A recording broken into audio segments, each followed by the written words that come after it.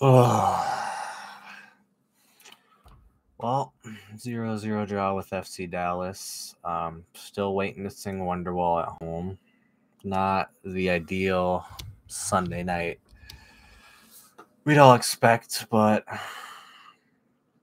we need goals. That like we had so many shots, so many chances, but no matter who the ball falls to, we simply can't get a good shot or even most of the time a shot on net. Uh, there are several chances throughout the game where you just shake your head because you think, how the hell does that not go in? How don't we get a better shot? How how do we even miss the target? Bongi was like awful, absolutely awful in front of net. Luis was awful in front of net. Had a little bit better hold up play, I guess, but so it wasn't his worst performance. But man, oh man, in front of net, we are atrocious.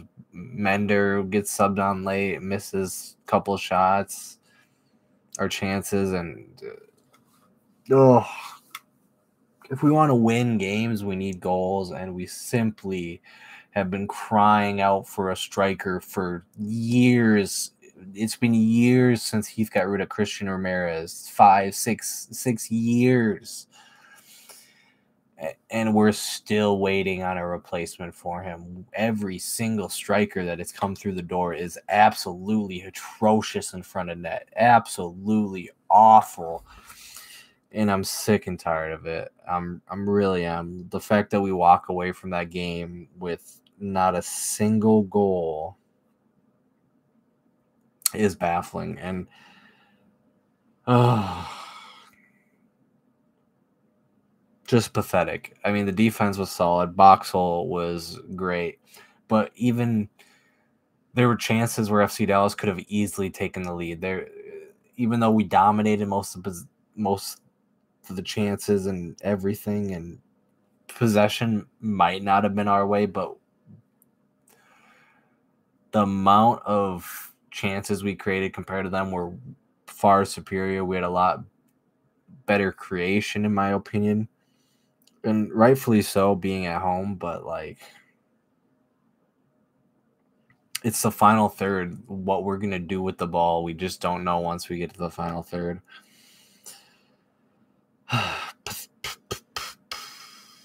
uh, Bing played all right, picked up a yellow card early, which was a rush of blood to the head when he shouldn't have.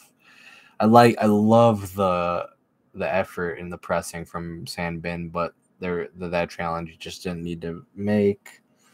Um, Franco ends up coming on for Hassani in the 64th minute. We kind of bring Lod into the midfield, put Franco to the left, bring Bongi to the right, and keep Sang Bin in the middle.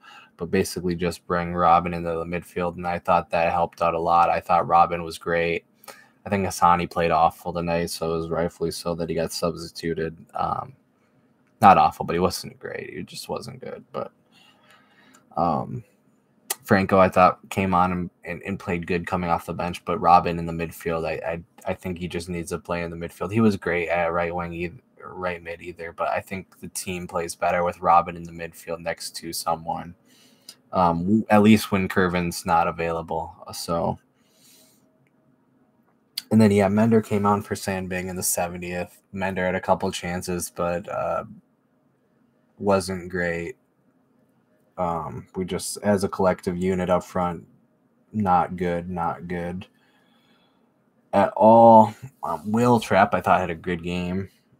Um, does what Will's going to do. Not some of the stuff is not his best, like shooting outside the box. Uh, was a Will Will's trap shot. It wasn't great.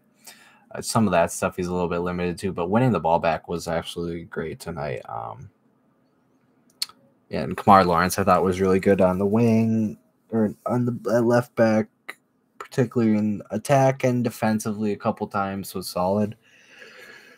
Excuse me. Okay.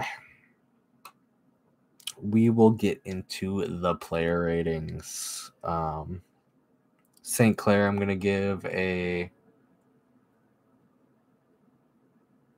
eight out of or a seven out of ten. Um, DJ Taylor, a 7 out of 10. Michael Boxall, 9 out of 10. Um, Tapias, a 7 out of 10. Tapias, a 7 out of 10. Kemar Lawrence, a 8 out of 10. Wil Trapp, a 7 out of 10. Dotson, a 5 out of 10. Robin Lod, a 9 out of 10. You'll be my man of the match. Bongi Hlongwane, a 2 out of 10. Not good game from Bongi. Sang Bin, a 4 out of 10.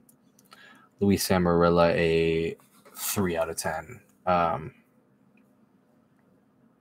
Franco Fragapane, a 7 out of 10, or actually an 8 out of 10. I thought Franco was really good off the bench. Uh, Mender, a 5 out of 10.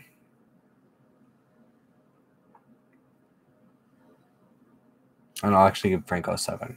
I'm to bring that down to 7. I don't think he had enough time to give an 8, but um yeah, that's my player ratings, but we desperately desperately desperately need goals. We need to make the goalie work for some of us. They have so many shots if they're on target straight at the goalie.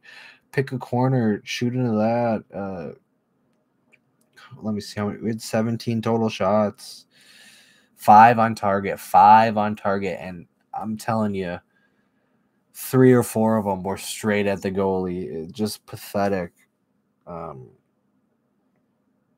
yeah, just pathetic. Uh, shot accuracy of 28 nine percent. Just just bad.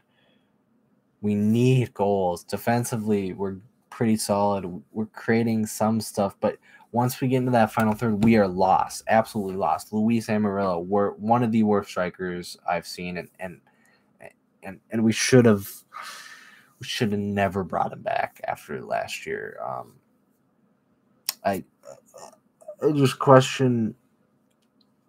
Uh, excuse me. Sorry. There's some of the player recruitment is baffling. We just have been asking or crying out for strikers. I know the Reynoso situation is not ideal, but the, that whole situation,